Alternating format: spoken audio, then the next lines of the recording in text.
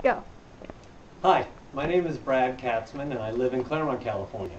And this is my mobile phone, which I bought from mobal.com. I love my mobile phone.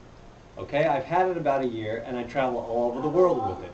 I love to travel and I've been to Asia, I've been to China, I've been to Europe, and I use my phone everywhere. I'm a physician and I call my office and I call my family and I call my kids and I love it. Recently, I was in China in December and I stood on top of the Great Wall and talked to my family. I couldn't believe the reception. I couldn't believe how great it was. I have referred many people, my partner, my friends.